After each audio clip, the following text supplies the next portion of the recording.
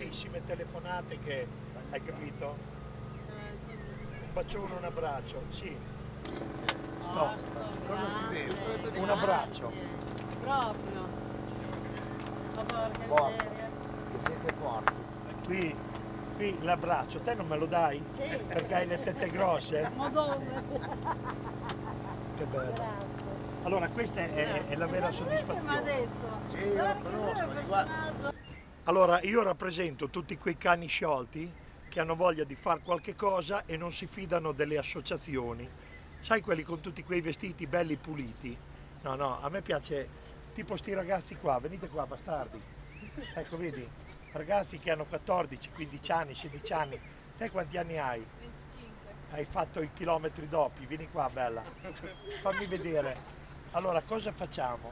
Veniamo qua a donare ai ragazzi che lavorano quello di cui possono necessitare, capito?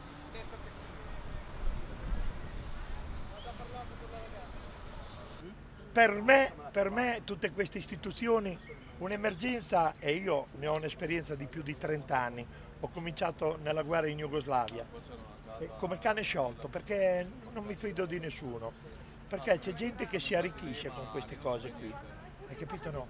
E allora per loro è come avere una tavola imbandita, dove chi arriva prende, ti vede, ah guarda, puoi scaricare qui, così dopo la dividono loro a chi gli pare. Siamo sempre qua.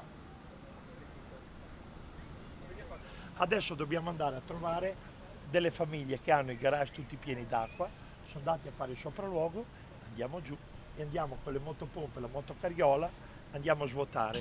Poi abbiamo tutti i beni di prima necessità, abbiamo di tutto, dai panni per pulire, eh, gli stivali, gli stivali, abbiamo anche un po' di kerosene qui, questo è il Sangiovese l'abbiamo finito, c'è il vino bianco, c'è la scritta, il sito da davanti è meglio.